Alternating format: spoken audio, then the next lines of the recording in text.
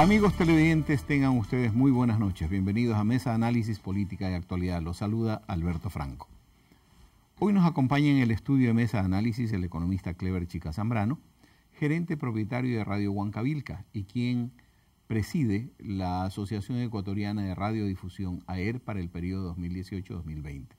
Junto a Clever Chica vamos a conversar sobre el plan de trabajo de la nueva directiva de AER enfocada en varios objetivos específicos entre los cuales analizaremos los concursos de frecuencias realizados por el gobierno, Arcotel eh, y sistemas de control de la comunicación, y el proceso de reforma a la ley de comunicación que ya está en marcha. Bienvenido Clever, gracias por acompañarnos, por estar con nosotros. Sabemos de lo apretado de tu tiempo, entre tu trabajo de radiodifusor, dirigir a ERE y tus múltiples actividades. Gracias Alberto por esta invitación, con mucho gusto para dialogar y dialogar con el público televidente. Eso es importante. Que precisamente este canal llega a todo el país y que nada más ni nada menos atrás está un gran respaldo que es la Universidad Católica de Santiago Guayaquil. De tal manera pues que me alegro de estar acá y con mucho gusto dialoguemos. Gracias, Clever. Dentro de la charla, la intención es conocer los posibles cambios de la normativa, la estructura de representación y gestión de AER. Pero antes veamos un reportaje preparado por el Departamento de Opinión y Noticias acerca de los objetivos planteados por AER a corto y largo plazo.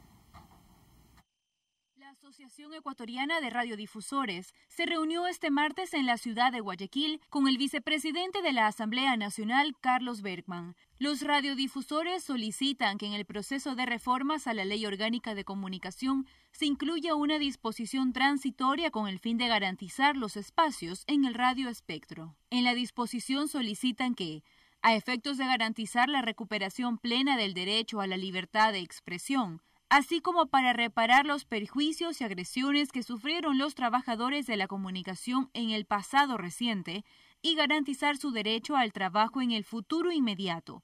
Quedan renovadas automáticamente, por una sola ocasión, todas las concesiones de frecuencias de radio y televisión cuyo plazo haya vencido previo a la fecha en que se promulgue la presente ley reformatoria. El vicepresidente de la Asamblea asegura que la solicitud de los radiodifusores será incluida en el primer debate para la reforma de la ley. La Comisión de Derecho Colectivo, la cual preside el asambleísta Jorge Corozo, eh, recién está tratando de darle forma al informe para primer debate. Ninguna ley en el Ecuador y en el mundo entero es hecho en piedra. Siempre son mejoradas en función al espacio, el tiempo. El artículo 116 de la Ley Orgánica de Comunicación establece que la concesión para el aprovechamiento de las frecuencias de radio y televisión se realizará por el plazo de 15 años y será renovable para el mismo concesionario por una vez mediante concesión directa, debiendo para las posteriores renovaciones ganar el concurso organizado por la Autoridad de Telecomunicaciones. Queremos recobrar un derecho que todavía no hemos tenido no solamente como Ecuador, sino internacionalmente.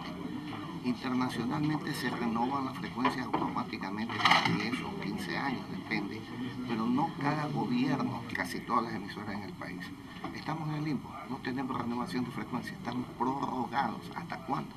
Los radiodifusores se basan en que las concesiones del espectro radioeléctrico para el sector privado y comunitario están prorrogadas a través de la resolución 734, artículo 3, donde dispone que no se permitirá el oligopolio o monopolio directo ni indirecto de propiedad de los medios y del uso de frecuencias por lo que la solicitud de renovación se encuentra prorrogada. Más de 350 radios en el país no conocen qué sucederá con las concesiones, por lo que solicitan la renovación inmediata de cada una de las frecuencias.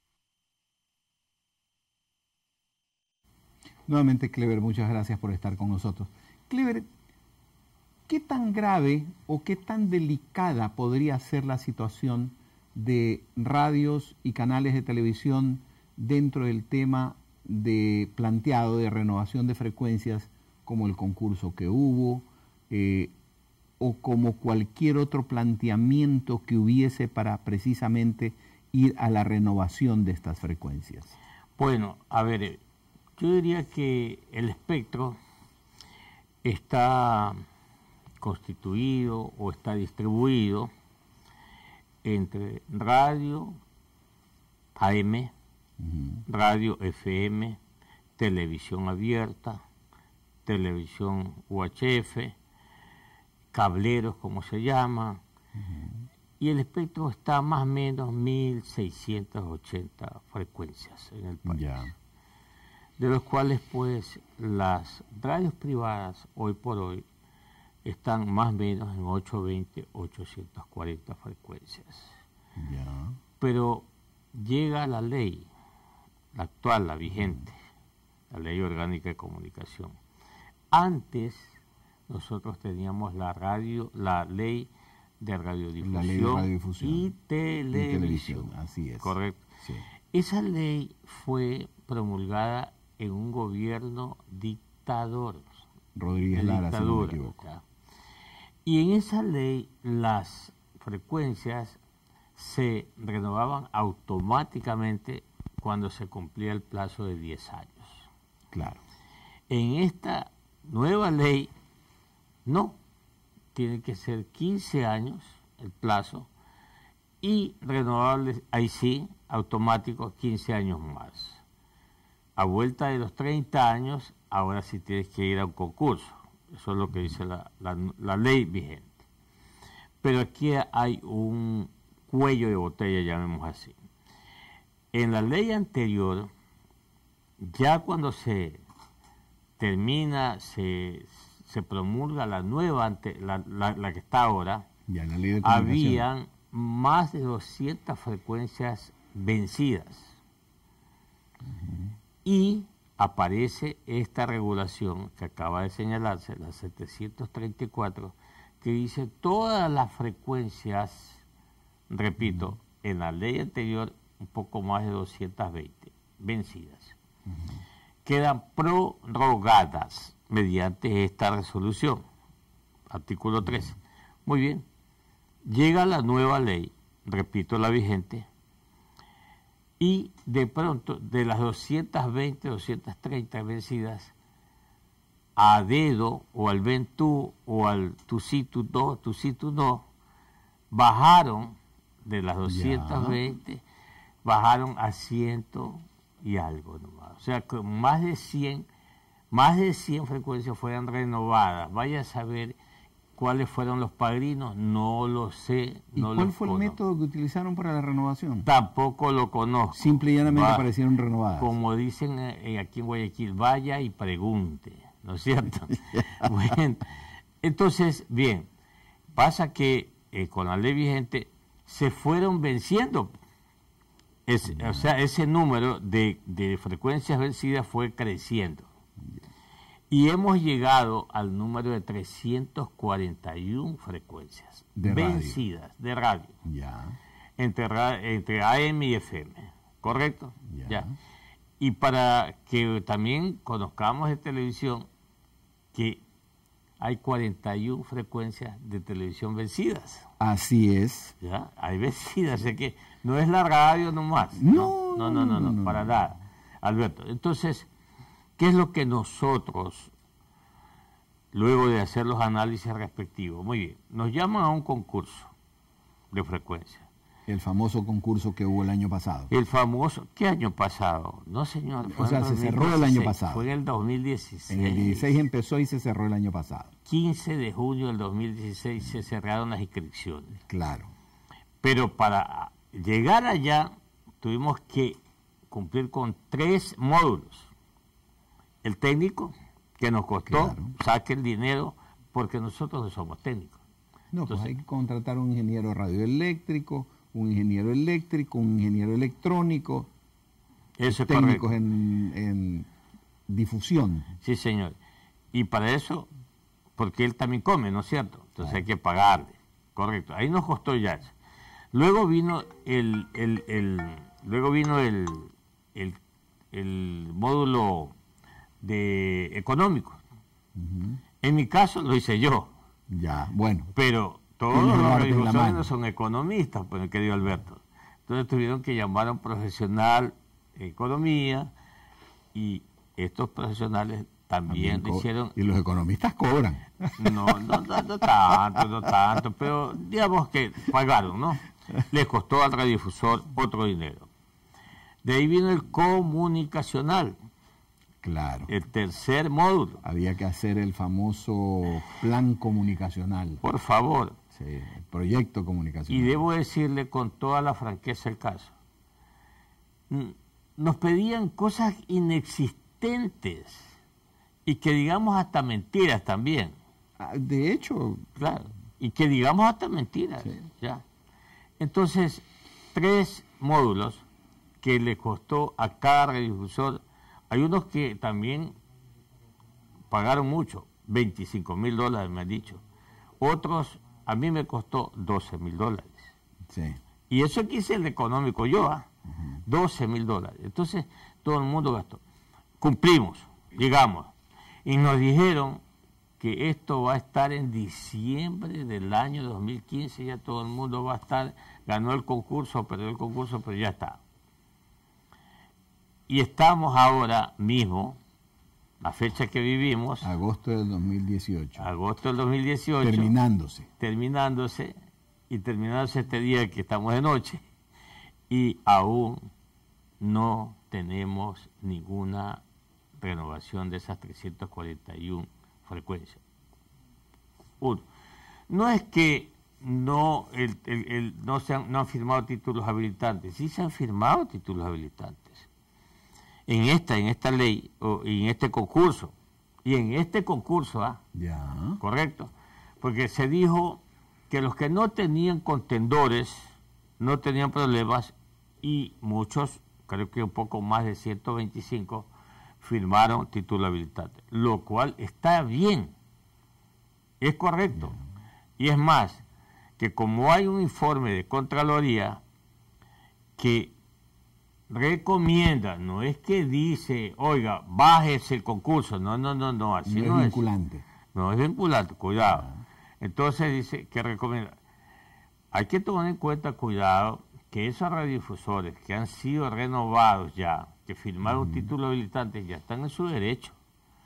Cuidado que conquistarles ahora. Aceptamos el tema del derecho adquirido. Por supuesto, por supuesto. Vamos a hacer una pequeña pausa, Clever, para continuar con esta interesante charla. Es momento de hacer la primera pausa en Mesa Análisis Política y Actualidad. Regresamos en breve.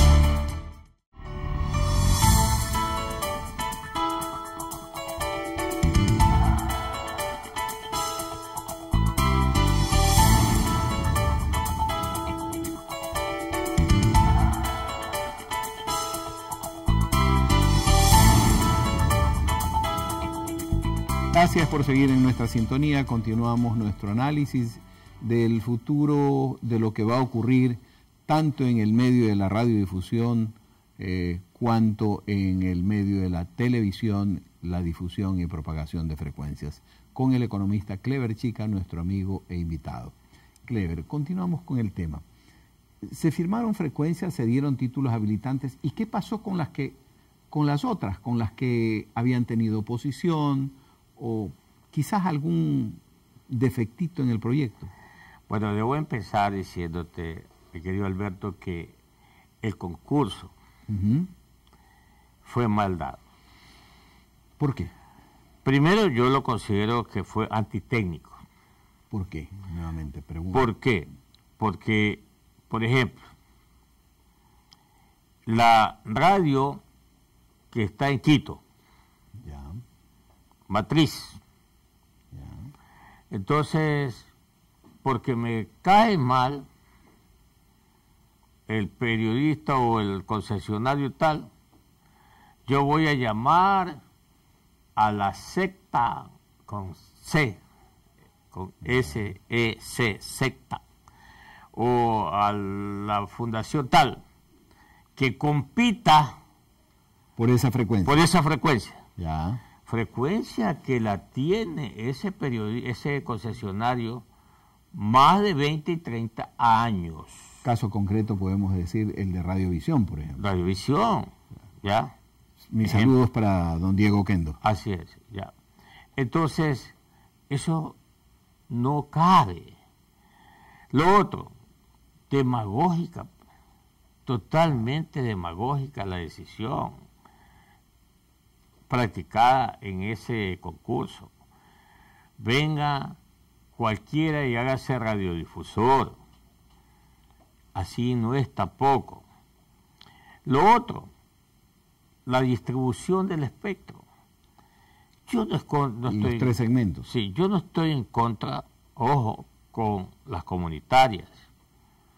Que vengan, que vengan y que se instalen, se, se eh, haga una estructura radial en una comunidad.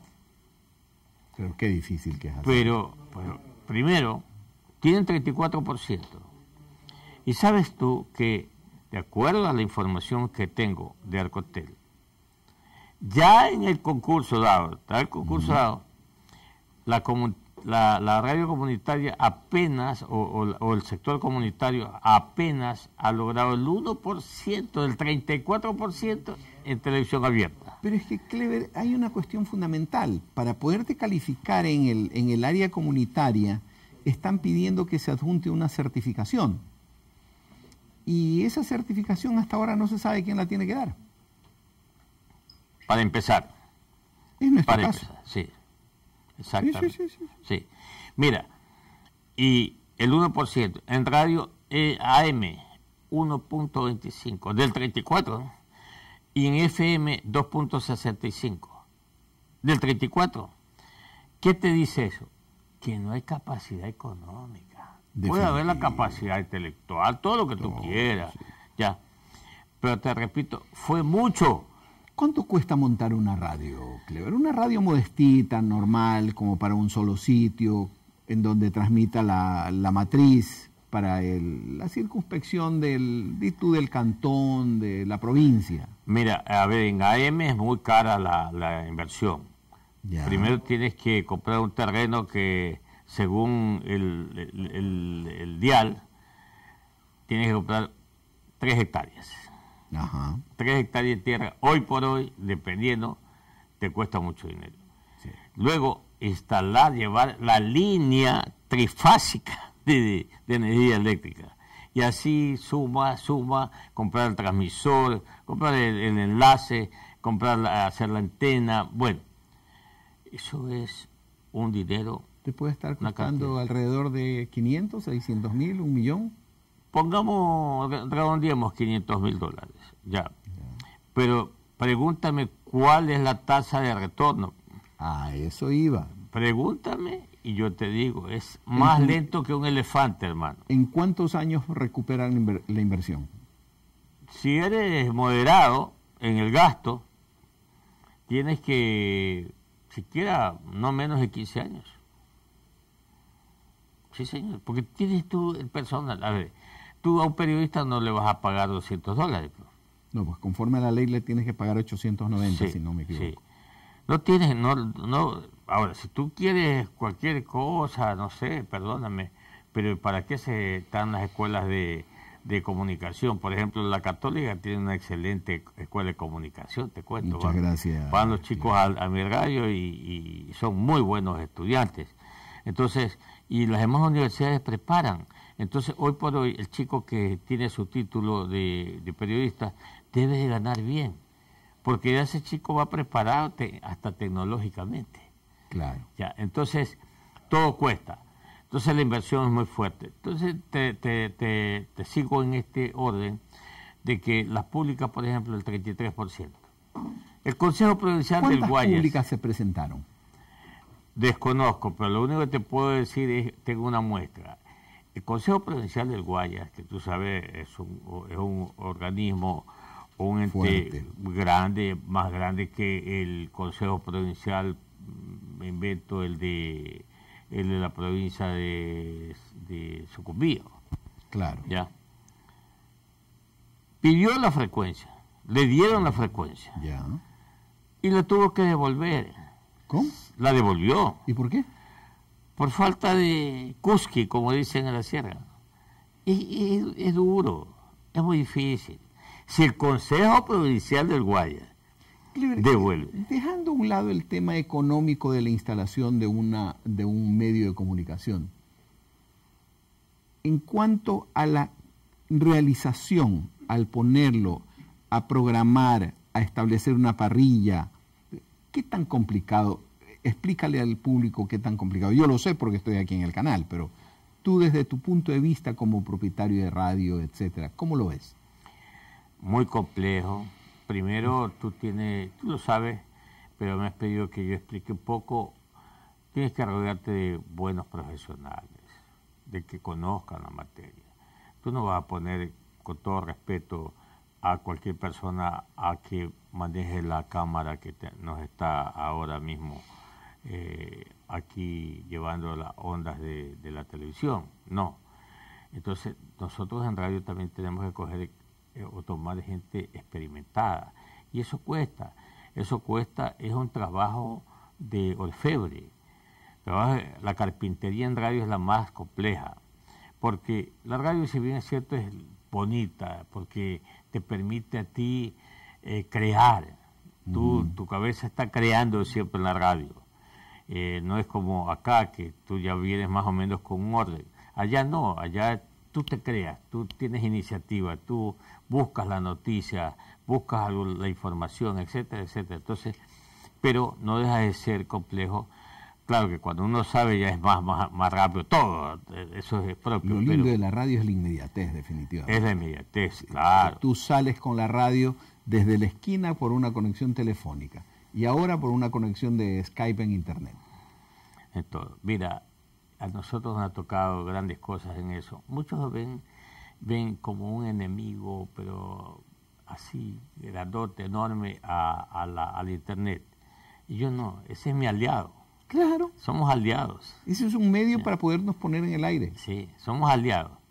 Eh, entonces, para terminar un poco este tema de las frecuencias, mi querido Alberto, nosotros lo que estamos pidiéndole a la Asamblea Nacional, a través de la Comisión de los Derechos Colectivos, que nos logre insertar esta, esta disposición transitoria. De renovación. Que abarca solamente a los que estamos vencidos. Y ojo, ojo, no son nuevos, pero si hubiese algo incorrecto, ahí están las dependencias para que actúe. Bueno, si está vencido quiere decir que tiene por lo menos 10 años en el, en el medio. Mínimo. Por lo menos 10 mínimo, ya. Eso es lo que pedimos. Y que se respeten a los que han firmado títulos habilitantes. Y repito, si esos títulos habilitantes si han, han, firmado y algo ha pasado, algo raro, también están las dependencias tienen que revisar. Dependencias legales, etc. Pero lo que eh, ahora ayer, eh, no, eh, antes ayer, sí, estábamos con el licenciado Michilena. Ya. Y se reunió con el señor Lanza. Ya, el relator especial para... Sí, yo creo que está muy bien que venga él, está muy bien, ha cambiado la situación comunicacional, hemos elogiado la decisión del presidente Lenín Moreno de haber enviado a la Asamblea Nacional esta ley de comunicación actual que se, que se reforme, me parece muy bien. Ha decidido que se quite ya el supercom, también elogiamos. Ahora ya la comunicación es de derecho humano, eh, también. Todo eso está bien. Pero tú sabes perfectamente, eh, Alberto, que los países, las naciones, cada cual tiene su vida. No es lo mismo, no es lo mismo Colombia, no es lo mismo Perú, no es lo mismo Chile, no es lo mismo Brasil, Argentina, Estados Unidos que Ecuador. Nosotros tenemos nuestra propia cultura, nosotros todo lo que seamos. Entonces, no se nos compare. Por ejemplo, Colombia tiene oligopolios en la comunicación, y tú lo sabes perfectamente bien. Nosotros no tenemos oligopolios. No se han dado aquí. No se han dado. ¿Y cómo ciertos sectores de socialistas, etcétera, hablan del, del oligopolio, del monopolio de las comunicaciones en manos del capitalista. Bueno, pero monopolio tú lo sabes que monopolio es uno, uno, pues, ¿no? eso no hay. Oligopolio puede haber, porque si tú me preguntas oligopolio, el sistema financiero es un oligopolio, pues, ya, porque tú sabes que ellos se fijan una tasa de interés, se ponen de acuerdo y, esa es la que va. Bueno, el Banco Central actúa y no actúa. Bueno, es otra cosa. Pero, a ver, si a mí me gusta hablar con papeles, con pruebas, Alberto, ¿no? Si yo te traigo, si yo voy a hablar de una persona, es que yo tengo el soporte. Pero si vengo y te digo, no, es que fulano, sultano tiene oligopolio, eso no, no es así, no es correcto. Ya. Entonces, dicen que tienen oligopolio los señor, un señor que no sé su nombre, pero es de origen mexicano. Ya. No, no, no sé, honestamente no sé el nombre. Pero demuéstralo. Claro. Que, que venga al costel y Corricón y nos diga, aquí está la concentración de las frecuencias. Yo estoy en contra de la concentración. Ya. Yo estoy en contra. ya. Pero también estoy a favor que si vienen aquí y me traen capitales extranjeros hasta el 49%, ejemplo, vienen aquí y me plantean hacer acción, comprarme... ¿Ya permiten que extranjeros tengan frecuencias operando? No, no, no? Este, no pero, pero sí... Pero está introducida la...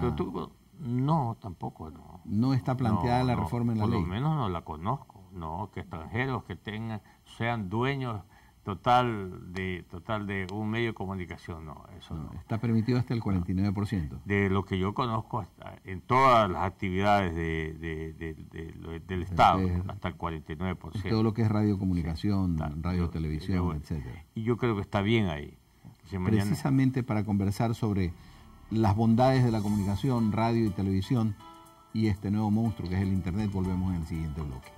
Hacemos una nueva pausa en Mesa Análisis Política de Actualidad. Recuerde que pueden seguirnos en las redes sociales, en Facebook, búsquenos como UCSG TV y en Twitter digite UCSG Subión TV.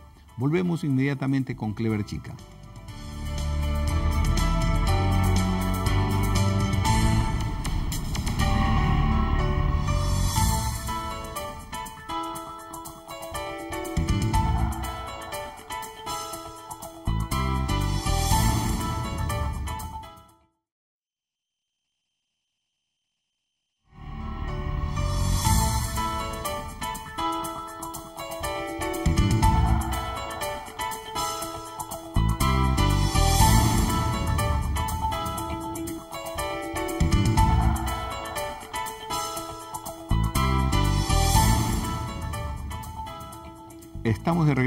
De Análisis Política y Actualidad para continuar nuestra charla con el presidente de la Asociación Ecuatoriana de Radiodifusión, el economista Clever Chica Zambrano.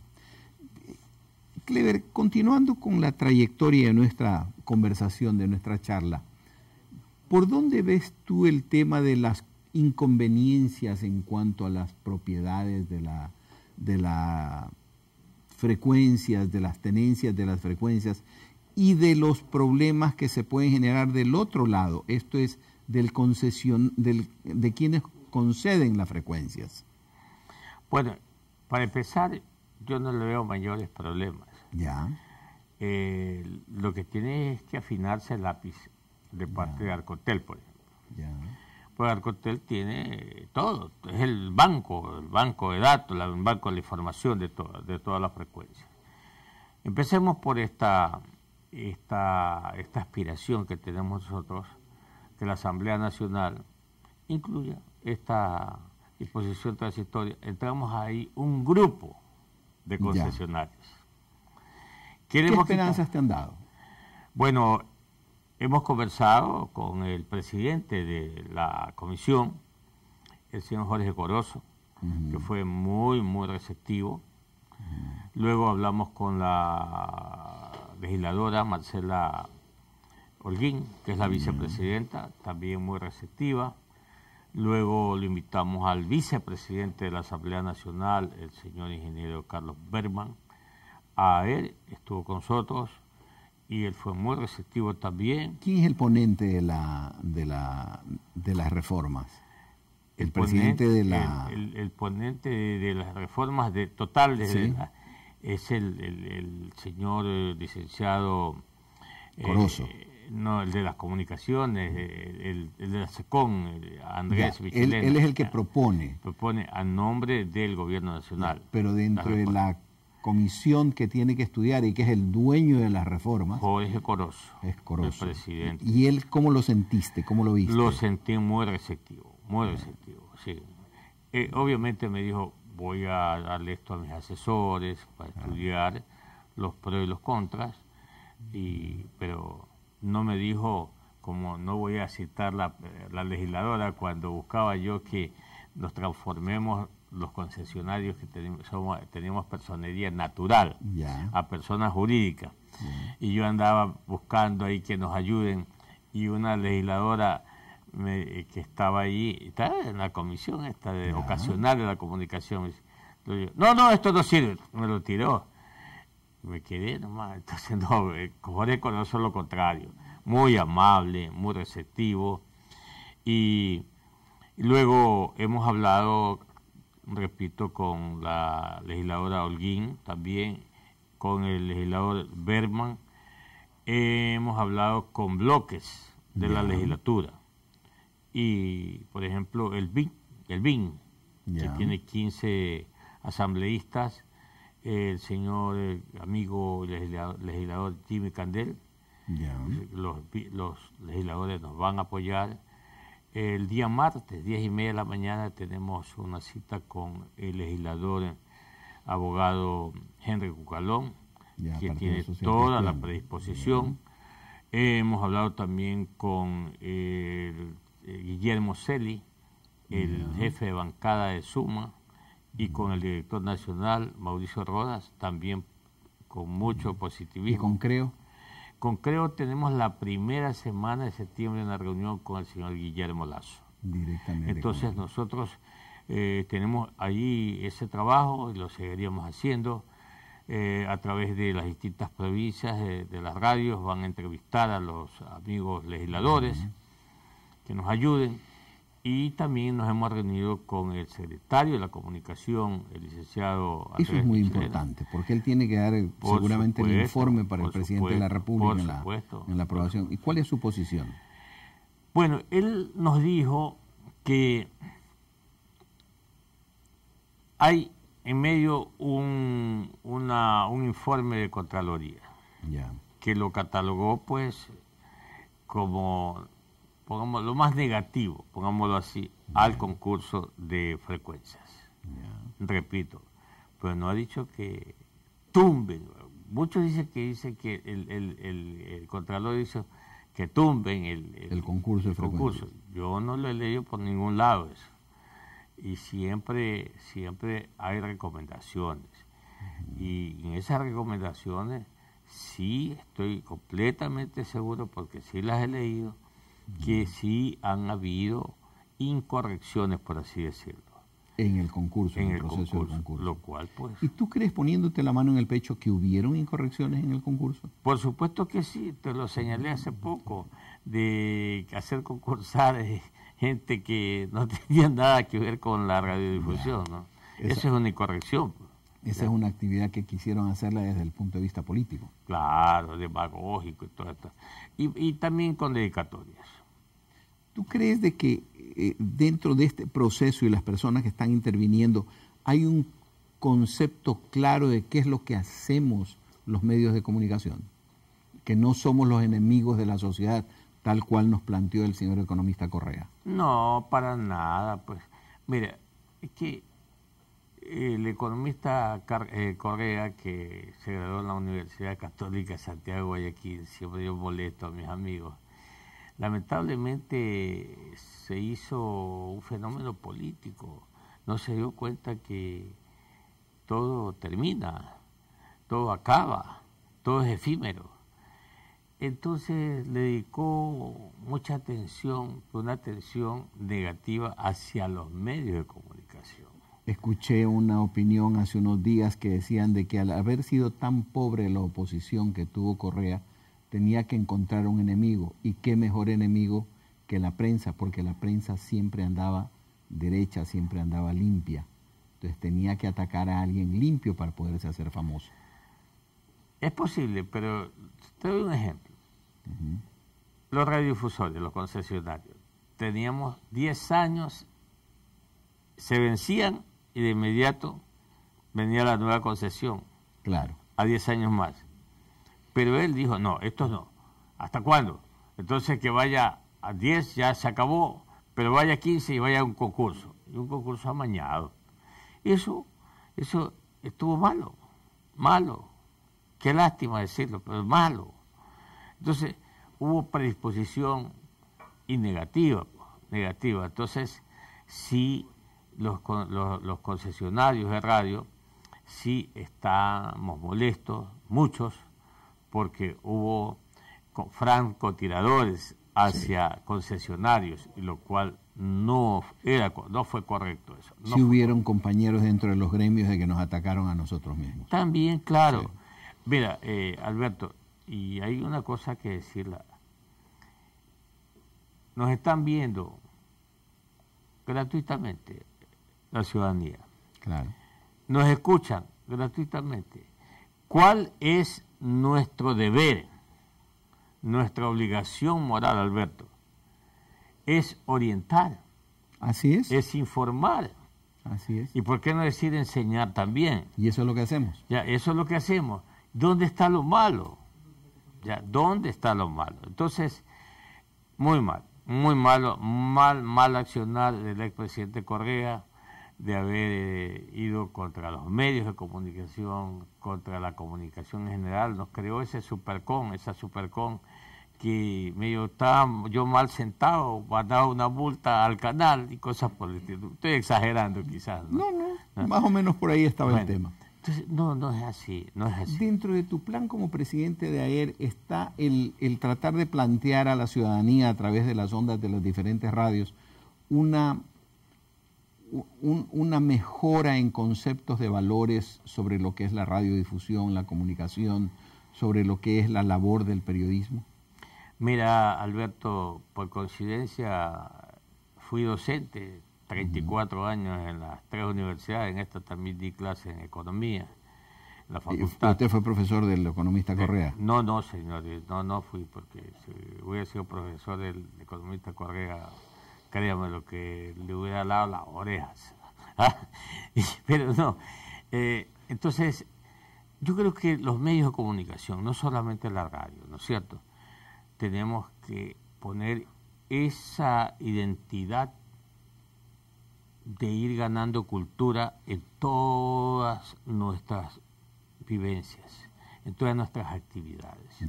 Por ejemplo, te voy a citar un ejemplo, la cultura tributaria. Tú eres hombre del mundo y sabes que en los Estados Unidos todo el mundo paga impuestos. Lo más sagrado son los impuestos en los Estados Unidos. Las leyes más duras son contra los que no pagan impuestos en los Estados Unidos. Pero aquí todos no pagamos impuestos y, sin embargo usamos las calles, usamos todos los, servicios básicos que los paga el Estado, los pagamos el resto de ciudadanos. Entonces, ¿por qué acá una persona que tiene ingresos, yo, yo este me lo invento, ¿no? Que paga aunque sea 10 dólares anuales de impuestos, pero vamos ganando la cultura tributaria. Yo pienso que tenemos que ir creando el concepto de valores en la gente. Claro. Que la gente entienda. Y creo que en eso tenemos mucho que ver eh, los medios de comunicación. ¿Tú piensas? Yo tengo, yo tengo en la radio, en mi parrilla, un programa cultural. Se llama Prisma Cultural. Todos los sábados de 8 a 9 de la mañana y lo, lo repriso dos veces a la semana eh, doy este, eh, pastillitas también de orientación cultural, de ir mostrando, enseñando a la gente. Yo, los valores se han caído, mi querido Alberto, y hay que recuperarlos. Hay que recuperar los valores. Y el tema es muy serio en ese sentido. Sí, señor. Entonces nosotros, los medios de comunicación, los comunicadores, tenemos que contribuir a levantar esos valores que se han perdido en la sociedad ecuatoriana. ¿Tú cómo ves, cómo ves esa labor? ¿Tiene que ser una labor ocasional, permanente, eh, mediante campañas? ¿Cómo, ¿Cómo lo plantearías tú? Mira, tú sabes que hay una ley intercultural. Claro.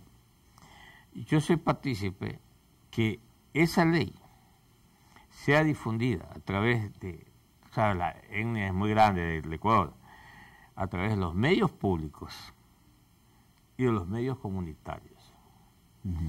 Porque para la radio y para la televisión es muy oneroso crear o producir una cuña en el caso de la radio, una pieza ¿no? de televisión, un video, producir. Entonces, no tenemos el financiamiento, pero el Estado sí lo puede tener, el gobierno a través de esos medios públicos, para eso están los medios públicos. Miren, en México, en México los medios públicos son los que orientan y hay hay eh, eh, programas de educación de toda índole, ¿ya? Medios públicos. Pero acá los medios públicos compiten con los medios privados y hay hasta una, una, una competencia desleal. El gobierno anterior se dio eso. Así es, definitivamente. se dio eso. Precisamente para hablar sobre el concepto real de los medios públicos, comunitarios y privados volvemos en el siguiente bloque, para definir qué es lo que los comunicadores pensamos. Volvemos inmediatamente, no se vayan.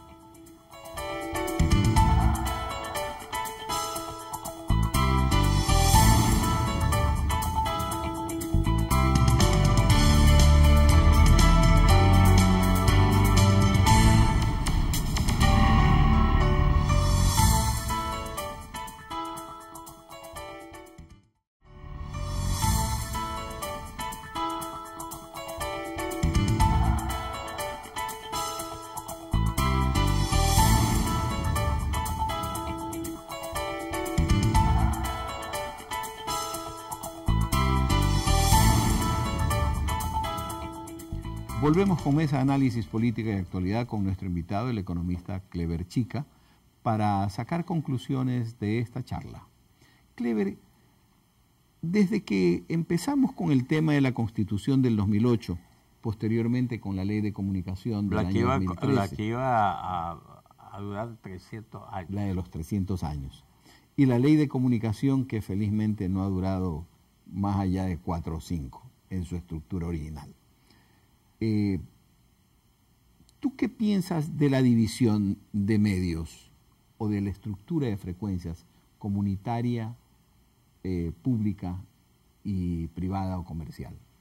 Deben existir, pero no en los porcentajes que se señalaron eh, de una forma anárquica, demagógica, repito, antitécnica. No yo creo que debe afinarse el lápiz y ver cuál es la necesidad que tiene el gobierno, los, las dependencias públicas, de tener un medio de comunicación. ¿Tú crees que las dependencias públicas, aparte del, del gobierno central, asamblea, deben de tener medios de comunicación? Hablo en general, yo creo que para mí las universidades. Ya. En Calceta hay un canal de televisión, el canal Politécnico. Yo me alegré mucho, como me alegré cuando la, Universidad Católica de Santiago Guayaquil tiene una radio y un canal. Y como iba razón, acá solamente le falta Quito, no sé por qué no tiene en Quito la Universidad Católica su frecuencia. Pero debe tener las universidades. Las universidades sin ecuanón, mi querido Alberto. ¿Privadas o públicas? Privadas o públicas. privadas o públicas. ¿Por qué piensa, por qué esa afirmación de que las universidades debemos de tener medios de comunicación? Porque las universidades tienen las distintas facultades y escuelas, ergo, la católica, tiene una escuela de comunicación que va creciendo, se va desarrollando, que como se dice comúnmente, van egresando muchos chicos bien preparados. Y así la laica tiene también su escuela de comunicación, la estatal tiene su escuela de comunicación. Qué pena decirlo, en la estatal no tienen los instrumentos, los equipos que tienen en la católica. Los muchachos cuando me los mandan a la radio de pasantes no saben editar porque no tienen los equipos. Pues. Yo recibo aquí estudiantes de las universidades laica, estatal, de la Politécnica Salesiana, los recibo para prácticas en radio y canal y les doy exactamente el mismo trato que a los de la católica. los entreno. Claro, Los entreno, los entreno. Entonces las universidades deben de tener su canal y su radio, definitivamente. ¿Los municipios deben tener radio, canal? Eh, ¿Sería factible? Yo diría que los municipios, exceptuando a Quito, exceptuando a Cuenca, a, Guayaquil, a lo mejor eh, la misma Machala, a lo mejor Puerto Viejo, pero los municipios pequeños deben de ayudar es a las radios comunitarias. Ya. Deben de ayudarlos económicamente. Hablando de ayuda económica, las radios comunitarias, ¿de qué se podrían sostener si en este momento no existe esa, esa ayuda, sino esa competencia? Porque en algunos municipios están tratando de poner radios. Eh, eh, yo no, es, es, muy complejo, mi querido Alberto, la radio comunitaria. Porque está bien que le pase el sombrero una vez, a la comunidad, pero cada momento tampoco, no tiene la comunidad. Es que no hay salida en lo económico ahí, no hay salida. ¿No piensas que quizás está mal concebido el tema? Por ejemplo, tenemos la existencia de dos medios de comunicación a nivel mundial, eh, que no sé cómo calificarlos, si como medios oficiales, públicos o comunitarios son NHK y BBC. Para ellos existen impuestos. ¿Sí? Para ellos existen impuestos. Sí. Sí. Y hacen la labor de comunitario y labor y Alberto, de... Y, aún así, financiados, recuerda lo que pasó en la BBC. Ajá. Ya, casi, ya casi se desapareció. Han, han recortado mucho, porque la BBC tenía una programación extraordinaria pero se trata de recursos. Es muy, volvemos a lo mismo, es muy complejo desde el punto de vista económico el tema de una estructura de emisora radial, de una estructura de una emisora de televisión. Y este país, que lo amamos tanto, que es el nuestro, Ecuador, precisamente es limitado pues económicamente. Mira, ahora mismo nosotros estamos pasando por una situación muy crítica o muy, compleja. ¿Cuál debe ser la labor del comunicador precisamente en, ese desarrollo de esa situación compleja? Eh, primero estar consciente de, la problemática. Y si está consciente, tiene que orientar y decirle a los oyentes, al, al televidente, esto está pasando, esto está malo, podríamos orientarnos para acá. ¿Por qué no decirlo así? Si lo, haces todo objetivamente, vas a lograrlo. Pero si ya tienes cierta inclinación o cierta desviación a lo político o algún interés personal, eh, interés económico, alguna cosa, se daña todo. Pero si tú vas por aquí derechito, objetivamente, tú vas a lograrlo y vas a lograr realmente y vas a dejar, si no un legado, pero vas a dejar una, una muestra para que todos lo vayan la vayan tomando. ¿Qué pasa, ¿Qué pasa con las realidades que estamos conociendo sobre el gobierno anterior? ¿Es obligación de los comunicadores sacarlas a la luz, ponerlas a la luz, o se nos va a tomar como que si realmente Correa tuvo la razón al decir de que la oposición somos los medios? Déjame decirte que si hay si, tienes al alcance la información verás, no es al corre y ve y dile, sino verás, que tengas el documento, tú estás en la obligación de mostrarle aquí en la televisión de lo que hay. lo que ves. Pero si no, si vas a especular, eso es una, perdóname, una irresponsabilidad. Entonces, yo no creo en lo absoluto. Los extremos son malos, mi querido Alberto. Entonces, yo no creo que todo haya sido malo lo de Correa. Eso tampoco. Hay que decirlo como, como es. Pero, lamentablemente, abrió mucho la mano y entonces los recursos se fueron, se fueron. Eh, yo hablo en primera persona, discúlpame, pero de esto hace algo. Eh, tuvo mucho dinero, mucho dinero, nunca le ingresó tanto dinero al Ecuador, a su caja fiscal en estos últimos 10 años, producto de un, de un precio del barril de petróleo por un buen tiempo que se acercó a los 100 dólares.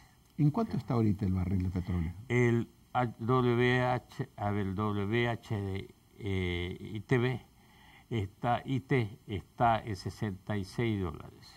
No está tan mal. No, está bueno. Estamos nosotros en un promedio de 35 eh, tenemos una diferencia de 25 o 28 dólares eh, de diferencia, un excedente, es bueno. Yo creo que si nos estabilizamos en 60, ahí nos manejamos y vamos cubriendo. ¿Cuál crees que es el futuro, tú como radiodifusor, ya como dirigente gremial, cuál crees que es el futuro de los medios de comunicación en el Ecuador? ¿Hay una tendencia a desaparecer los medios pequeños? No, definitivamente no. Nadie, desaparece, el que desaparece porque quiere desaparecer. No, el tema, mira, es que después de 10 años, yo creo que hay que apagar la luz porque nos vamos a la, al digital. Ya. Y ahí se acaba la AM y se acaba la FM. En radio. en radio. A nosotros nos toca apagar la luz parece que el próximo año. Mira tú, más duro. Eh, tú sabes que en Noruega, a comienzos de este año, me parece, o a finales del año pasado, se acabó, se apagó la luz en la FM. Y ya se acabó ahí, se acabó. Así que no nos extraña a nosotros, pero nos falta eh, esta lucha de las frecuencias. Y, es la última, el último, la última, el último periodo, porque se viene el nuevo, que es la digital. La digital. Y hay que estar preparado para eso para la digital. Nosotros en televisión, como te decía, el próximo año ya parece que entramos definitivamente, porque se ha venido postergando desde el 2016 el apagón analógico. Ya tenemos estructurado aquí en el canal, nosotros estamos totalmente preparados, por ejemplo, para ese cambio. Pero ¿qué va a ocurrir si no se han renovado frecuencias, si no se han definido eh, eh, los parámetros de cómo pueden manejarse frecuencias? Porque hay mucha gente que dice, pero si tal persona tiene 40 frecuencias y realmente lo que tiene es una matriz. Nada más.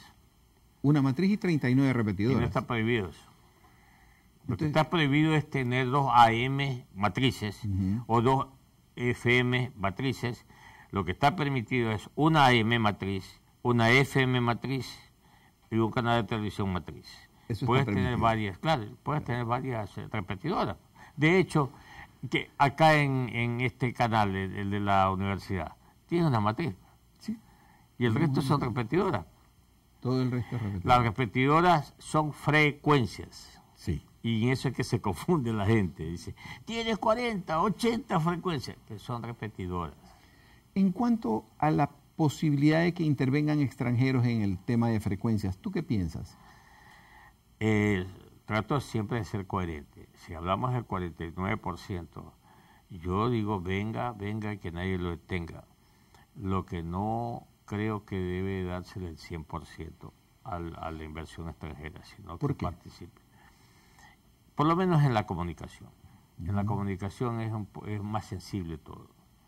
Ahora que si en otras áreas... ¿Tú hablas por penetración cultural? ¿Penetración política? Es que tú sabes muy bien que, hablando de cultura, tampoco hay cultura política en el Ecuador. Si no, muéstrame las estadísticas, muéstrame de todo, y yo te demuestro que no hay cultura política. Hoy día tú eres verde, mañana eres amarillo, después amarillo eres rojo y todas estas cosas. No, no. Entonces, que le llaman el clientelismo político, le llaman también. Entonces, acá eh, la comunicación o todo lo que se llama es el área estratégica, ¿no es cierto? Esto es como el petróleo, todo, todo lo que se llama los recursos naturales, los recursos que son del Estado y se convierten en, recursos estratégicos, yo no estoy de acuerdo que el 100% lo tenga la inversión extranjera. Son muy apreciables estos conceptos, Clever, como amigo, como radiodifusor, como dirigente gremial. Estas ondas están abiertas para ti en cualquier momento cuando sea necesario. Déjame felicitarte porque yo sí te veo eh, tu programa, también veo la televisión y te felicito porque has logrado desarrollar mucho el canal. Y te repito, yo lamento mucho que no llegues a la ciudad de Quito. Y ojalá que el presidente Lenín Moreno eh, distinga a la Universidad Católica de Santiago de Guayaquil que viene haciendo esfuerzos, esfuerzos en, en la televisión y en la radio no solamente para el bien del público, sino para el bien de los chicos, de los estudiantes, porque los, chicos están aquí tienen la teoría y la práctica. Aquí tienen un laboratorio. Están completos, están completos. Entonces hacemos, hacemos un llamado muy comedido, muy respetuoso al señor presidente de la República y que ojalá la televisión de la Universidad Católica de Santiago de Guayaquil logre esa frecuencia para la ciudad de Quito. Te agradecemos profundamente por esas palabras, Clever, y te cuento que tenemos nuestra oficina de producción de noticias en Quito. Nos enlazamos vía mm, eh, internet con Guayaquil y salimos desde Guayaquil con todo lo que es el noticiero desde Quito. De hecho, veo el cubo siempre. Estamos en todas partes. Sí, señor. Esos son nuestros muchachos preparados aquí en la Católica. Te felicito, mi querido. Gracias, Clever, nuevamente. Agradecemos a nuestro invitado por haber estado con nosotros y a ustedes, amigos, por acompañarnos semana a semana. Por mi parte, nos encontramos en una próxima emisión de su programa Mesa Análisis Política de Actualidad. Hasta pronto y los dejo no sin antes entregarles un mensaje por la paz. En estos momentos tan duros, tan álgidos en nuestro país, en nuestros hogares, por las condiciones socioeconómicas, por el problema de los venezolanos que están viniendo acá desarraigados de su patria, de su país, de su quehacer démonos entre nosotros fraternalmente, entre todos, un abrazo de paz. Y a través de ese mensaje de paz, a través de esa labor de paz, lleguemos a la felicidad. Hasta otro momento.